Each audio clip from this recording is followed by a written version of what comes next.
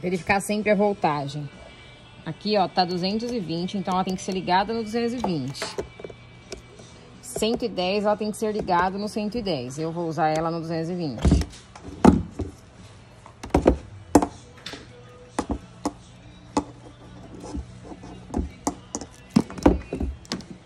Liguei na tomada. A caneta.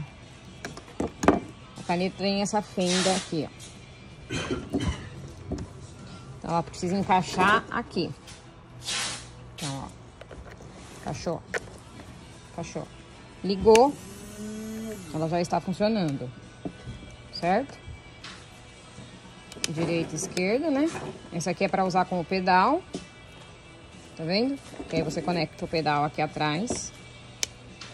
E aqui ela vai funcionar normal. A ponteira. Pro R, você abre.